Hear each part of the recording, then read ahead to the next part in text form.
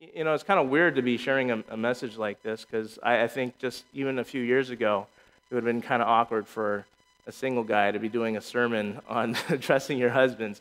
And, you know, it's, it's been kind of a neat um, process because uh, as a pastor for, this is like, wow, year nine right now, um, I've had actually the privilege of be, being able to do like premarital counseling um, jointly with other pastors, even when I was single. You know, and it's kind of like, you know, you're sitting there in this chair and you're saying, oh, yeah, you know, as a husband, you should do this. As a wife, you should do this. And you're thinking, gosh, you know, it's easy for me to say this. But honestly, I'm not in those shoes. And so it's kind of like, you know, you know what God's word is and you don't doubt that. But there is a little bit of empowerment. There's a little bit of authority that comes in when you've actually kind of walked in those shoes for a little bit. And even like doing weddings, I, you know, I, I even officiated um, weddings before I got married. And I just thought it was the coolest thing, you know, just being able to be a part of that and being able to see this union that, that um, you know, before there were two and God brought them together and they were one. But, you know, actually having gone through a wedding ceremony and now being married, you just kind of see things in a slightly different light. You appreciate it so much more. You're kind of like, wow, the vows that you know people were taking um, one to another. It's like, wow, I can actually live that out, and I can actually see that, and I can see the power behind it. And I can see also some of the difficulty behind that. And so this experience um, of being able to share this with you today is just, uh, it's a unique privilege. And yes, I mean, I, I'm not going to lie, I've only been married a couple years. Some of you guys, like, totally dwarf that. You're probably 10 times married. In fact, um, can I just get a quick show of hands? Who's been married here for like more than 15 years? All right, nice. More than 20 years? More than 25? Oh, I look Uncle Bob. He's going to hold his hand up for like the whole message. Okay, all right, you, you win. You win.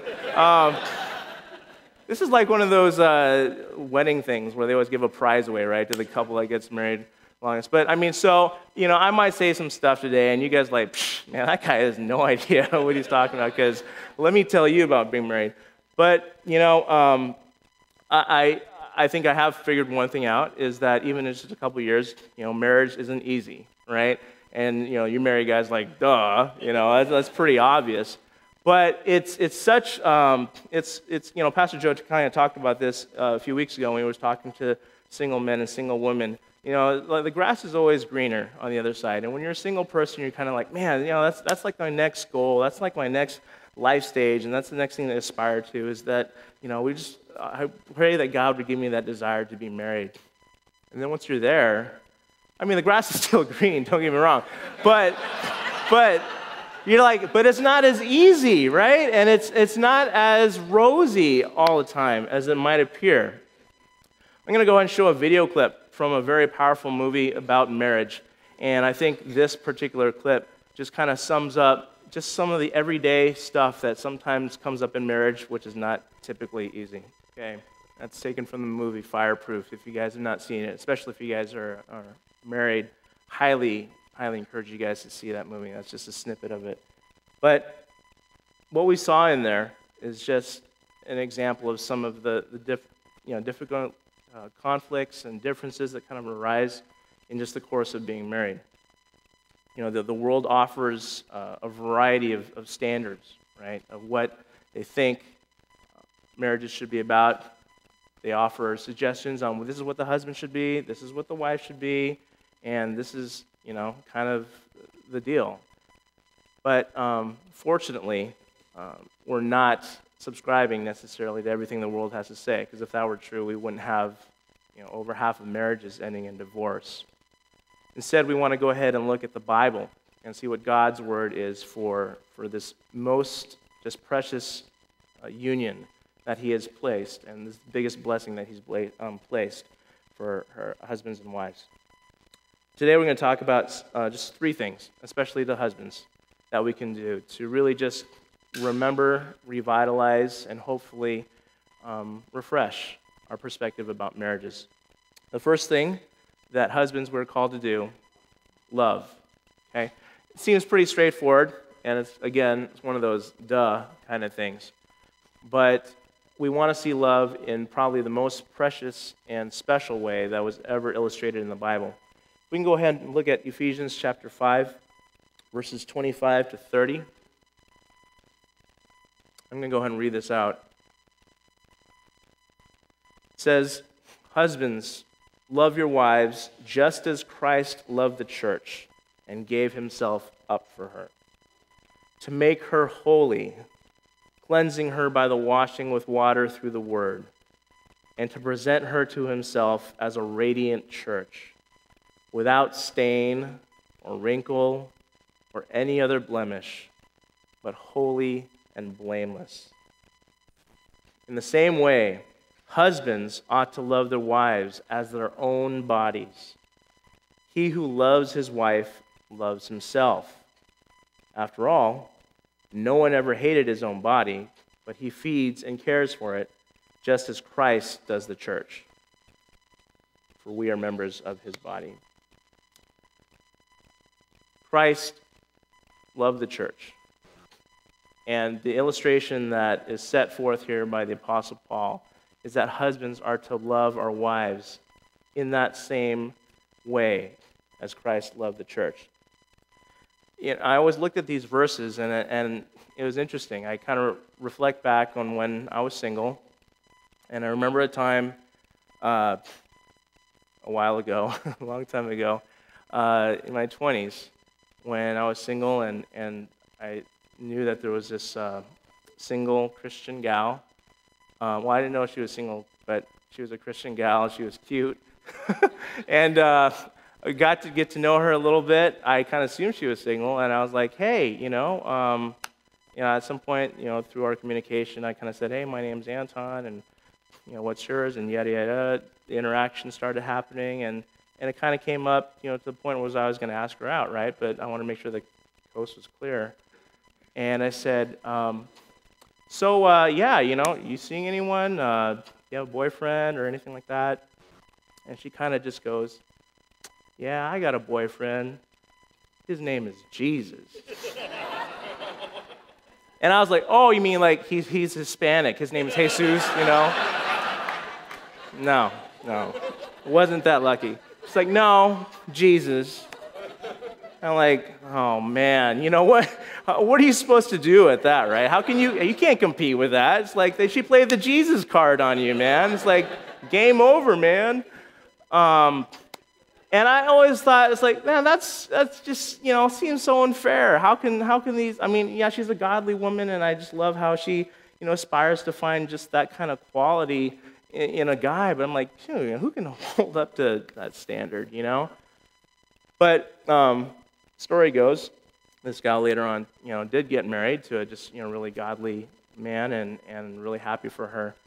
And I kind of reflect on that and I go, you know, uh, obviously there's not going to be one guy who's perfect and one guy who's flawless because there's no one that is comparable to Christ like that.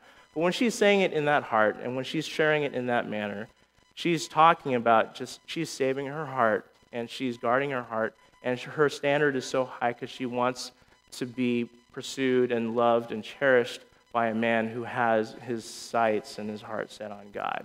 And, he, and she wants a guy who's going to love her in the marriage context like Christ loved the church.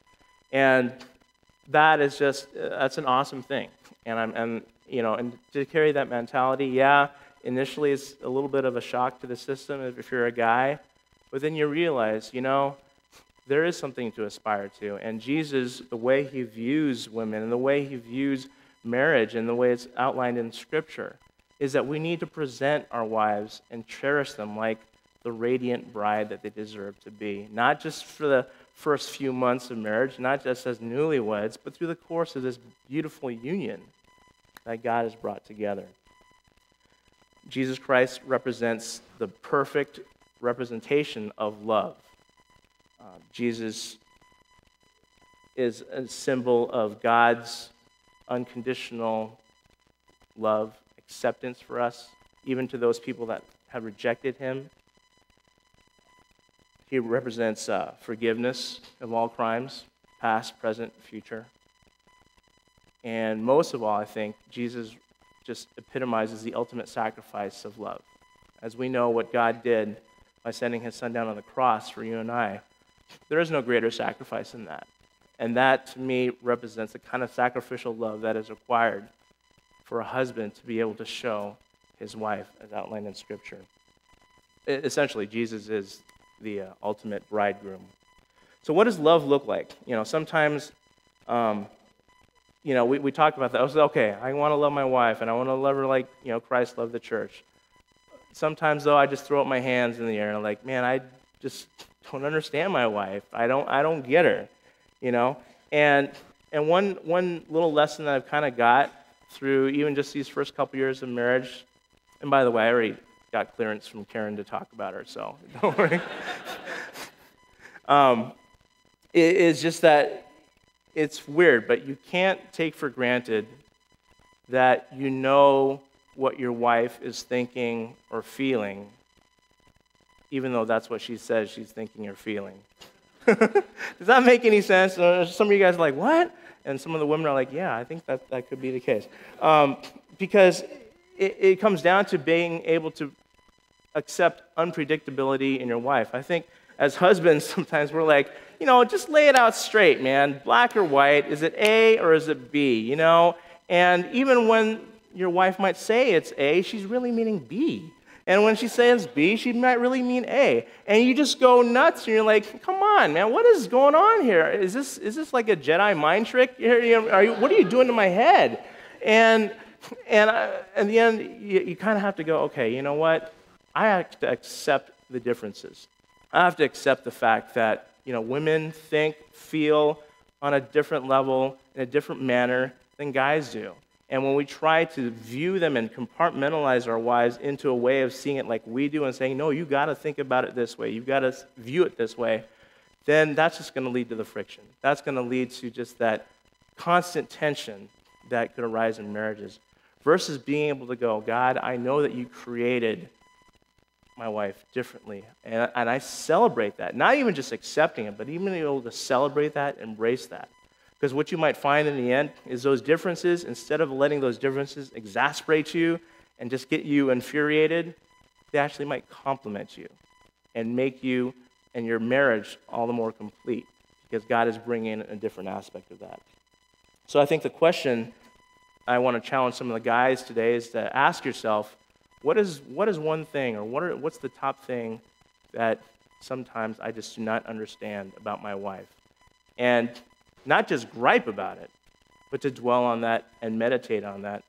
And, uh, and if you're coming from it from a perspective of love, you won't view it as, oh, I've got to fix her, as opposed to, I'm going to cherish her for who she is. 1 Peter 3 7 also has a, a really good verse for us. Husbands, in the same way, be considerate as you live with your wives. Actually, that's just, I just want to leave it at that. Um, I want us to look at that and go, wow, be considerate. What does that mean? Um, I, I have a confession. And uh, yeah, so the last couple months, um, I've been having an affair. And it's yeah, it's gone on for since about April. And her name is the Seattle Mariners. and I say that because sometimes, you know, at the end of the day, I'm like, man, I got to go home and watch the ball game. Or I'm at home and I'm going, I wonder what Ichiro's batting average is today. Or I go, oh, I wonder what we're doing in July. I, we have a vacation scheduled? Yeah, but we could be playing the Phillies that day. I want to go to that game. Karen, I'm sorry for sometimes, more often than I should be, placing this thing as an object of my time and energy as a priority over you.